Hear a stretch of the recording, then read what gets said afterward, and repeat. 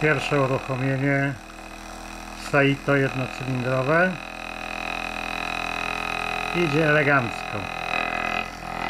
A tutaj pali się pod kociołkiem.